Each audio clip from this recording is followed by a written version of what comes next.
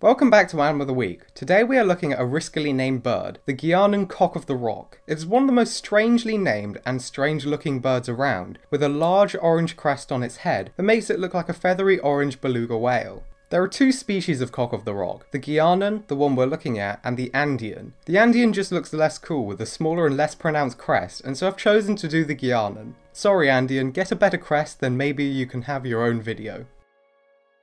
Though called the Guianan cock of the rock, they actually live in Guyana, Brazil, Venezuela, Suriname, Colombia, and Guyana.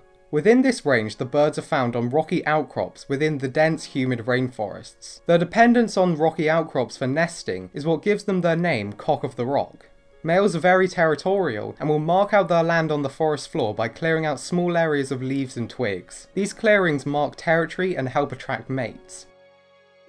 Guianan cock of the rocks are frugivores, meaning their diet is almost solely fruit. Emphasis on almost, they are also known to sometimes eat small invertebrates and insects. Up to 65 different fruits are known to be eaten by these birds, and they are very important to the survival of many of these fruit species. When studying these birds, people have found fruits growing near their nests that are not found for miles around, showing that the birds are important seed dispensers within the rainforests, helping to spread the plants around and ensuring biodiversity in the area.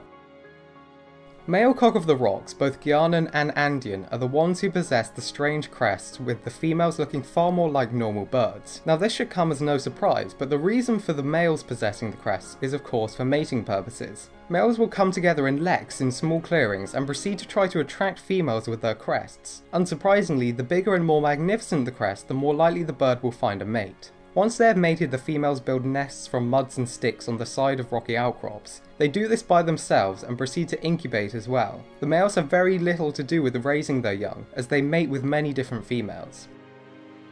Male Guianan cock of the rocks seem to put most of their adaptations into mating. These birds on a basic level are just like any other, but the adaptations that make them unique, like the crest or their vivid colours, are all to help with mating and nothing else. The bright orange colour helps them stick out on the jungle floor to mate, and usually the brighter the orange the more likely they are to find a mate, as they will stick out from all the other cocks of the rocks in their lek. Because males will mate with multiple females, and usually the brightest males get to mate, it has led to the species becoming more and more vivid in colour, and led to the species' crests becoming more and more pronounced, as again the males with the larger ones will mate many times passing on this trait.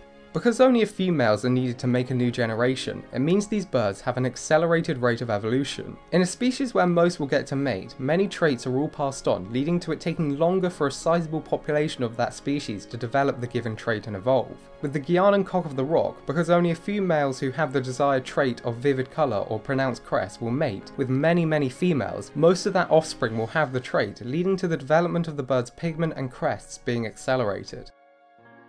These birds live in the jungles of South America, and so there are many things that wouldn't mind eating them. From the air, harpy eagles, black and white hawk eagles, and forest falcons are all potential threats, and from the ground, jaguars, ocelots, and various snakes like boa constrictors. Cocks of the rock are most vulnerable while they are in their mating leks, as they are on the ground making noise. However, being in a group does allow them to watch and warn others of coming threats.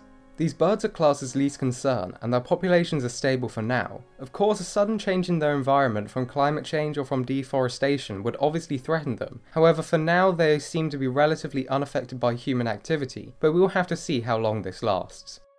Thank you for watching this video, I really hope you enjoyed it and learned something new. If you'd like to learn more about our world, its history, and the wonderful life that surrounds us all, please feel free to subscribe to the channel if you think we deserve it and if you'd like to see more from us.